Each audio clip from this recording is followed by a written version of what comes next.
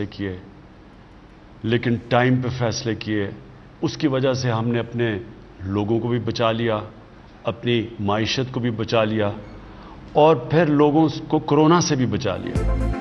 अल्लाह ने करम किया, दुरुस्त फैसलों से कोरोना पर काबू पाया मीशत को तबाही से बचाया। वज़ीर आज़म इमरान खान आवाम से मुखातिब, कहा, भारत ने सोचे समझे बगैर, अपर क्लास के लिए लॉकडाउन कर दिया।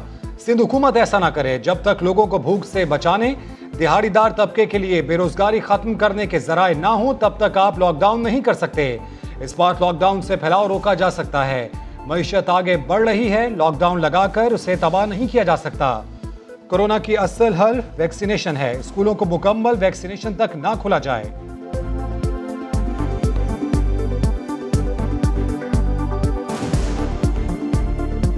सिंध गवर्नमेंट को सिर्फ़ हमारा ये है कि देखें, जब आप लॉकडाउन करते हैं तो अपने जहन में डाल लें कि आप लोगों को भूखा रखेंगे।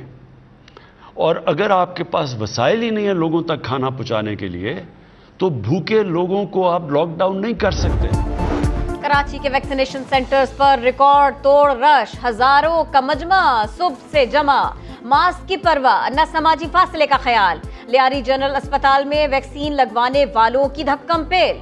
रश इतना बढ़ा कि डंडे चल गए। अस्पताल का गेट बंद करना पड़ा। सिंध हुकूमत ने ओझा अस्पताल, कतर अस्पताल, चिंड्रल अस्पताल, नॉर्थ नाजिबाबाद समेत नौ मराकज को 24 घंटे फाल कर दिया। भाई, आपका वैक्सीनेशन कार्ड कहाँ है? घर भूलाया, मोबाइल में रखा है, दफ्तर में जमा है, साहब के पास है। मैसेज डिलीट हो गया। कराची की सड़कों पर शहरियों के वैक्सीनेशन कार्ड चेक करने वाले पुलिस एहलकारों के पास सौ बहाने। लेकिन अपनी वैक्सीनेशन का कोई सबूत मौजूद नहीं।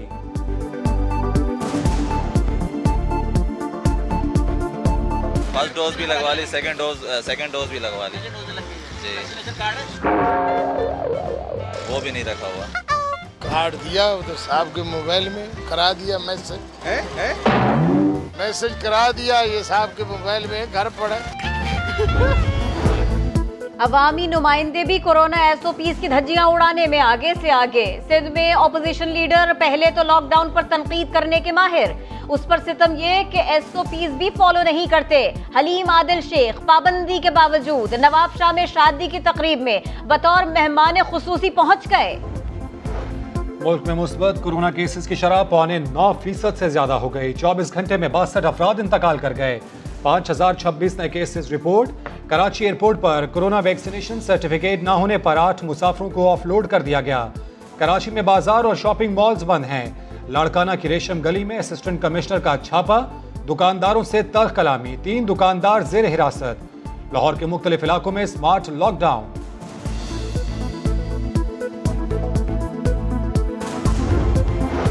पाकिस्तान में वैक्सीनेशन में तेज़ी से इजाफा, तीन करोड़ वैक्सीन लगा दी गई। पहली एक करोड़ वैक्सीनेशन में 113 दिन लगे। दूसरा करोड़ 28 दिन में पूरा हुआ। तीसरे करोड़ का संगे मील सिर्फ़ 16 दिनों में उबूर हो गया। सरबरा एनसीओसी के मुताबिक पिछले छह दिन में 50 लाख अफराद ने वैक्सीन लगवाई। असद उमर की लॉकडाउन पर तनकीद। कहा, बंदिश टारगेटेड तरीके से लगाते हैं, ताकि लोग परेशान ना हो। मुश्तर हमत अमली से बंदिशें लगाई जानी चाहिए, ताकि लोगों का रोज़गार मुतासर न हो। कल वज़ीर आज़म को कोरोना के बारे में सिफारिशात पेश की जाएँगी और नए फैसले भी होंगे। के प्लेटफॉर्म का कोई सियासत से ताल्लुक नहीं है, कोई सियासी वाबस्तगी नहीं है। कोई भी पार्टी हो, पाकिस्तानी सब एक है एनसीओसी एक ही नज़र से सारे पाकिस्तान को देखती है। ऐसी सूरत हाल नहीं पैदा होते हुए देखी पाकिस्तान में जैसी हमारे ज़्यादातर ठीक है। लोग कहते हैं कि जी वो बड़े मज़बूत ख़ानदान से है जो वो कातिल है और वो शायद बच ना जाए। ये मैं आपको बता दूँ कि बचने कोई नहीं लगा इसमें। अगर वो ड्यूल नेशनल भी है और अगर कोई समझ रहा है कि वो अमेरिकन उसकी सिटीजनशिप है वो बच जाएगा वो बचने नहीं लगा। मुलजिम कितना ही ताकतवर हो बचेगा नहीं। नूर मुकदम केस पर वज़ीर आज़म इमरान खान का दो टोक ऐलान। कहा, खुद पूरे मामले से बाखबर हूँ। इस वाक़े से सबक सीखने की ज़रूरत है। अफगान सफ़ीर की बेटी के मामले पर इमरान खान ने कहा वाक़े को ऐसा देखा जैसे मेरी अपनी बेटी हो। दोनों वाकयात में पुलिस के किरदार को सराहा।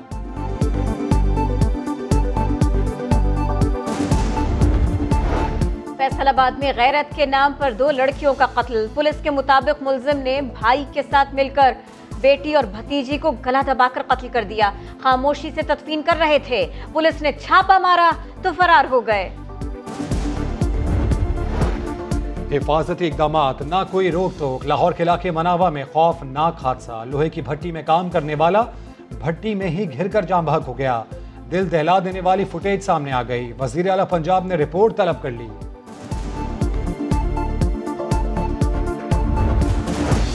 पंजाब, खैबर पख्तूनख्वा, गिलगित बल्तिस्तान समेत मुल्क के बारह इलाकों में तेज बारिश से निज़ाम ज़िंदगी दरहम बरहम। ग्लेशियर टूट रहे हैं, लैंडस्लाइडिंग से शाहराहें बंद है। एफ़ डब्ल्यू ओ ने करकरम हाईवे को मामूल की ट्रैफ़िक के लिए क्लियर कर दिया।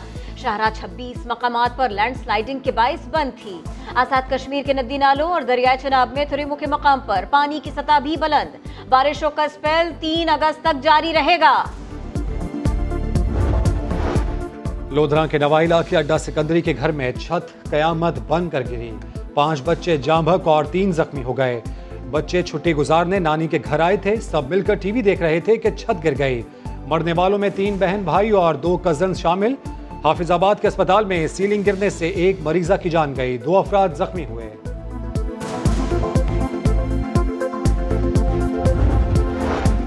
रावलपिंडी में वाटर टैंकर ड्राइवर ने ऐसी तेज़ी दिखाई कि टैंकर बेकाबू हो गया।